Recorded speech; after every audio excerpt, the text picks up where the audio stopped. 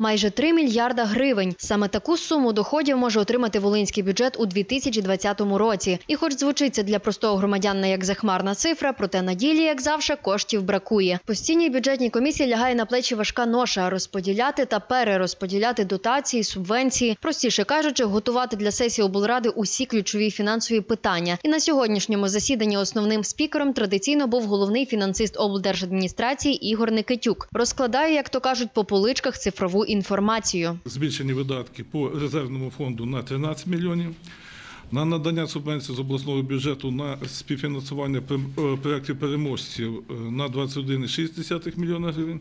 Ще у 1992 році Україна розпочала співпрацю зі Світовим банком, інституційні кредити якого спрямовані на реформи та розвиток державного управління фінансами та економікою. Станом на сьогодні його кошти на Волині були перерозподілені наступним чином. При допрацюванні проєкту обласного бюджету виникла необхідність перерозподілу субвенції з державного бюджету по Світовому банку. Е, В сумі 5,3 мільйона гривень вони передбачалися управлінню капітального будівництва. Пропонується їх направити управлінню охорони здоров'я е, в зв'язку із е, е, термінового фінансування придбаного медичного обладнання. До слова про сферу охорони здоров'я говорили на комісії багато. Звітували щодо впровадження субпроєкту вдосконалення медичної допомоги хворим на хвороби системи кровообігу у Волинській області та проєкту Світового банку поліпшення охорони здоров'я на службі у людей, які власне були дотичні до усіх сфер медицини. На суму майже 3,5 міль- мільйони доларів закуплені і кардіографи, системи холтерівського аналізу, ультразвукові системи, три ангіографи, е, дихальна апаратура, е, сіарка, ну і так далі. Відчули якісні зміни на собі амбулаторії різних рівнів. Кожна амбулаторія в області отримала обладнання, отримала мінімальне необхідне е,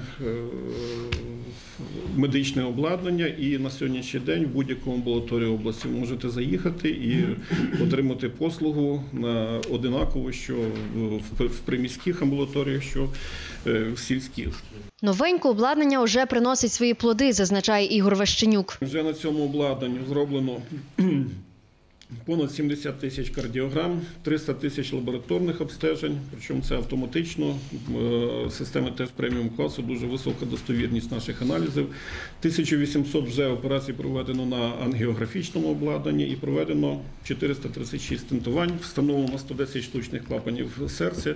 Нагадаємо, що виконавча влада області працювала над проєктом бюджету на цей рік вдруге, адже депутатами було виявлено чимало проблем, видатки на вирішення яких варто визначити як пріоритетні. Бюджетна комісія рекомендувала підтримати нинішній проєкт обласного бюджету, внесений ОДА. На завершення засідання голова бюджетної комісії подякував присутнім депутатам, що докладають сил у справу та й підкреслив усю її відповідальність, особливо у передвиборчий період. Якщо ми рухаємося до завершення реформи з децентралізації, то ми повинні звикати до того, що депутати е, несуть відповідальність за е, ті свої якісь е, передвиборчі обіцянки і за те, е, яким чином розподіляється фінансовий ресурс. Тетяна Нечипорук, Олександр Ватащук, перший ТІВІ Луцьк для рубрики Перший погляд.